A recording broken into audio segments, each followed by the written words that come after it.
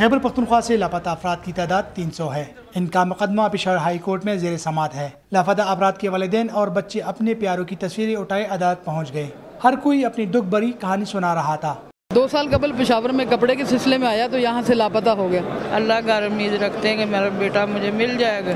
Chief justice ने जेर हिरासत अफराद की तफसील एक माह के अंदर पेश करने का हुक्म दे दिया। कानून नाफिज करने वाले इदारों के टार्चर सेल खत्म करने का भी हुक्म दिया। सेक्रेटरी दिफा और सेक्रेटरी दाखिला समेत आला हुकाम पेश हुए और अदालती अहकाम पर अमल की यकीन दहानी कराई। डिफेंस ऑफ़ ह्यूमन राइट्स की सरबरा आमना मसूद और बाद सियासी रहनुमा भी अदालत में मौजूद थे। अब इसी का शूर इतना बेदार इस कौम में हो चुका है कि पूरी पाकिस्तान की लीडरशिप ने कहा है एक ज़बान हो गई कि ये मसला हल होना चाहिए। जो मौजूदा हाई कोर्ट्स और हमारी जुडिशरी है हमें इनसे बहुत उम्मीदें वाबस्ता हैं। अदालत ने इंटोनमेंट सेंटर्स में जेर हरासत अफराद को सहूलती की फरहमी का हुक्म भी दिया। कैमरामैन असद अली के साथ नुसरतुल्ला जान दुनिया न्यूज़ पेशावर।